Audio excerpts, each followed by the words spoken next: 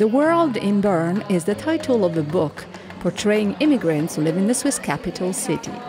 The book launch was a very colorful and humorous event, and also a good venue to ask foreigners living in Switzerland how they feel about the political campaign targeted at criminal foreigners. The political issue is about a, uh, limiting or dividing the society in foreigners and Swiss and it's not a reality. The reality is so much open, more open. Don't throw everybody in one basket.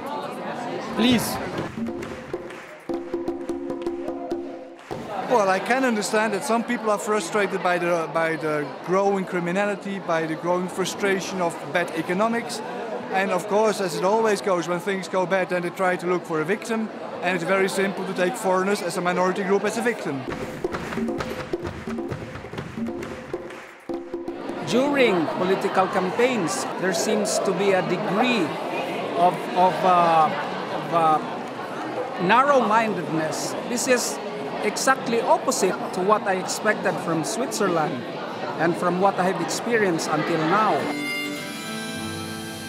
Well, you know, obviously you'd have to have your eyes closed to not have noticed the, the poster campaign that somebody's doing right now. But my only feeling about that is that, you know, you have to let people make their comments because if you don't, you know, who knows how it's going to manifest itself.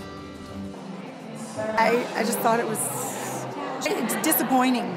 There's no um, thought behind it, or if you could just put yourself on a level and say, I'm white, therefore, or I'm Swiss, I'm therefore better, and, and these black sheep or these foreigners. Yeah, I, I, I just thought it was shocking.